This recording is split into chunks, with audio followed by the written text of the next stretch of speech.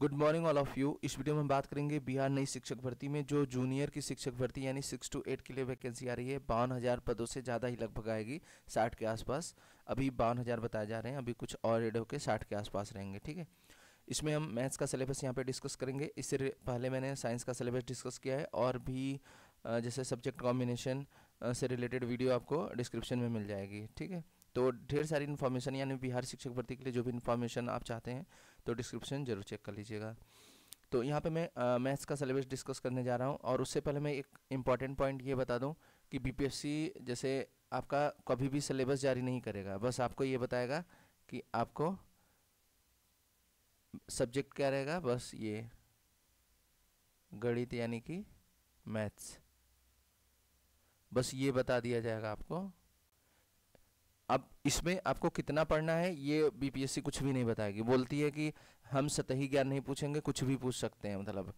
आ, ये मान के चलिए कि ये ट्वेल्थ तक लगभग सिक्स टू एट की जो जैसे टेंथ का जो सिलेबस था सॉरी पीआरटी का जो सिलेबस था वो टेंथ लेवल तक आया हुआ था। तो सिक्स टू एट का मान के चलिए कि ट्वेल्थ लेवल तक का जो टफनेस लेवल रहेगा यानी कठिनता का जो लेवल रहेगा वो लगभग ट्वेल्थ तक जाने की उम्मीद है। कहीं लग रहा है कि ये ग्रेजुएशन तक ना कर दें, क्योंकि पीआरटी का आपने पेपर का पैटर्न देखा था, कितना टफ कर दिया था, आपको पता होगा मैथ से या फिर जीके हो या कोई भी सब्जेक्ट हो पीआरटी का बहुत ही टफ ज़्यादा पूछा गया था, ठीक है? तो अपनी तैयारी थोड़ा सा लेवल बढ़ा के ही करिएगा। तो यहाँ पे मैं जो सिलेबस बता रहा हूँ, ये बस एक अनुमानित सिलेबस है लगभग ये टॉपिक रहने ही रहने। मैथ्स आएगी तो क्या ये नंबर सिस्टम या फिर जितना भी अलजेब्रा है या फिर कोऑर्डिनेट ज्योमेट्री है या ज्योमेट्री है, ये सारी चीज़ें बदल थोड़ी जाएँगी। यही सब रहेंगे। बस बीपीएससी कुछ बताता नहीं है, बस वो सब्जेक्ट बताता है और बताता है कि आप इसके बारे में सब कुछ पढ़िए। वो कहीं भी नहीं छोड़ता कुछ भी। तो जितना मैं सिलेबस बता रहा हूँ, इसके अकॉर्डिंग आप प्रॉपर तैयारी स्टार्ट कर सकते हो, क्योंकि सिलेबस आएगा तो लगभग अक्टूबर में तो आपको, आपके पास पंद्रह बीस या एक महीने का टाइम मिलेगा, इससे ज़्यादा टाइम नहीं मिलने वाला है, ठीक है? तो आइए देखते हैं सिलेबस में मैथ सिलेबस यानी गढ़ी सिलेबस की बात कर रहे हैं। सबसे पहला है आपका प्राकृतिक संख्या है, पूर्ण संख्या है, परिमेय संख्या है, ठीक? दूसरा है पूर्ण प्राकृतिक संख्या यानी नेचुरल नंबर पूर्ण संख्या होल नंबर परिमेय संख्या यानी रेशनल नंबर पूर्णांक इंटीजर की बात हो रही है, कोष्टक, लघु कोष्टक यानी ब्रैकेट में जो रहेगा, आपका ब्रैकेट से रिलेटेड क्वेश्चन आते हैं। लघुत्तम समापर्थक और महत्तम समापर्थक यानी कि लस और मस की बात हो रही है, एलसीएम और एस की। क्लियर है? फिर उसके बाद आता है वर्गमूल, घनमूल और सर समीकाएँ वर्गमूल मतलब स्क्वायर रूट, घनमूल यहाँ पे क्यूब रूट की बात हो रही है सर समीकाएँ यानी कि इक्वेशन जो होते हैं, उनकी बात हो रही है, ठीक है? बीज गणित अलजबरा की बात हो रही है, अवधारणा, चर संख्या है अचर संख्या यानी कांस्टेंट और वेरिएबल की बात हो रही है। चर संख्याओं की घात मतलब जो एक्स का पावर घात रहता है, उससे रिलेटेड क्वेश्चन रहेंगे। फिर इसके बाद है बीजी व्यंजकों का जोड़ घटाना गुड़ा भाग। अलजबरा में जितने भी बीजगणित में जितने भी गुड़ा भाग, जोड़ घटाना, ये सब चीज़ें रहती हैं, व्यंजकों के पद एवं पदों का गुणांक। फिर इसके बाद है सजाती व विजाति पद, व्यंजकों की डिग्री एक, दो और त्रिपदी, व्यंजकों की अवधारणाएँ। ठीक है? उसके बाद है युगपत समीकरण, वर्ग समीकरण, रैखिक समीकरण। ये linear equation in two variable की बात कर रहे हैं कर रहा है यहाँ पे। और वर्ग समीकरण यानी कि क्वाड्रेटिक इक्वेशन की बात कर रहा है, रैखिक समीकरण लीनियर इक्वेशन की बात कर रहा है, ठीक है?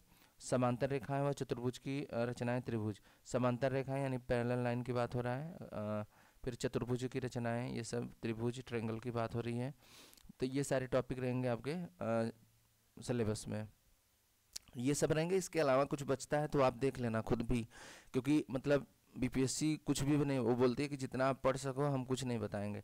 आप डिटेल में सारी चीज़ें पढ़िए, वो कुछ सिलेबस में एग्जैक्ट कुछ नहीं बताया जाता, ठीक है? आपने पहले भी देखा होगा नाइन टेंथ की जो वैकेंसी थी और इलेवन ट्वेल्थ की या पीआरटी की भी। आपको बस सब्जेक्ट ही तो बताया गया था, वहाँ पे कुछ इन्फॉर्मेशन दी गई थी? बिल्कुल नहीं दी गई थी। बस बता दिया जनरल मैथ्स प्राथमिक मैथ्स बस इतना बोल दिया गया। और प्राथमिक कैसी मैथ्स आई थी? प्राथमिक का तो छोड़ो। प्राथमिक के लेवल का भी नहीं था वो टेंथ लेवल से ऊपर का था। और ऐसे ऐसे क्वेश्चन थे वो लेवल के भी नहीं दिए थे। एकदम क्रिटिकल पॉइंट वाले क्वेश्चन पूछे थे जिसको हवा भी ना लगे किसी को। जो अच्छे से तैयारी किया था उस वही लोग कर पा रहे थे।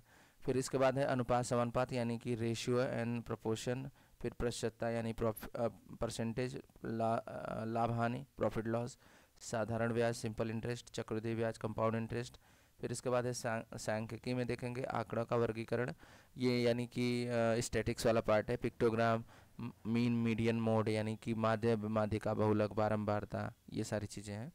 पाई चार्ट बहुत ज़्यादा इंपॉर्टेंट है, यहाँ से क्वेश्चन बहुत आता है। डन चार्ट अवर्गीकृत आंकड़ों का चित्रण, फिर इसके बाद है संभावना प्रायिकता ग्राफ दंड तथा मिश्रित दंड फिर इसके बाद है कार्तिक तल क्षेत्र में तीन मेंसुरेशन जिसे बोलते हैं। मतलब एरिया पैरामीटर रेक्टेंगल स्क्वायर सारे मतलब जितने भी टू फिगर हैं और थ्री फिगर हैं, सभी इसी में आ जाएँगे। फिर ये आपका घातांक यानी कि एक्सपोनेंट एंड पावर हो गया। फिर ये सबसे इम्पोर्टेंट पॉइंट है, कम से कम दो तीन क्वेश्चन इससे रहेंगे टिक्नोमेट्री से, त्रिकोणमिति जो होता है, ठीक है? तो ये थी पूरी डिटेल में मैथ सिलेबस जो कि जूनियर के लिए ये आपका सिलेबस रहेगा। इसको जूनियर के ही लिए मत समझिए पीआरटी के लिए भी समझिए लगभग। पीआरटी पीआरटी में भी इससे कम तो कोई नहीं पूछा गया था। देखिए पीआरटी में भी क्वाड्रेटिक इक्वेशन से क्वेश्चन आए थे linear equation in two variable से क्वेश्चन आए थे के की वैल्यू फाइंड आउट करने के लिए। फिर उसके बाद एक डिवाइड वाला आया था अलजबरा का। तो आ, मतलब ये आपका मान के चलिए कि पीआरटी का भी आ, फुल सिलेबस है और ये सिक्स टू एट का भी सिलेबस है। आ, मतलब पीआरटी में कुछ हल्के क्वेश्चन तो आए नहीं थे देखा था आपने। तो एल से क्वेश्चन आया था एक तो वो भी है आपका। फिर उसके बाद जो भी क्वेश्चन मतलब थे सिलेबस में वो सभी लगभग यही सिलेबस पीआरटी का है और जूनियर का भी मान के चलिए, ये सारे टॉपिक आपके क्लियर होने चाहिए, ठीक है? तो इसके बाद मैं एसएसटी की वीडियो बनाऊँगा जो कि एसएसटी का डिटेल में सिलेबस रहेगा, ठीक है? उसके बाद सब्जेक्ट का और फिर उसके बाद टॉपिक वाइज आपकी क्लासेस स्टार्ट करूँगा, ठीक? वीडियो कैसा लगा? वीडियो पसंद आया तो लाइक करिएगा और चैनल को सब्सक्राइब कर लीजिए। थैंक यू फॉर वॉचिंग भगवान करे आपका दिन शुभ हो।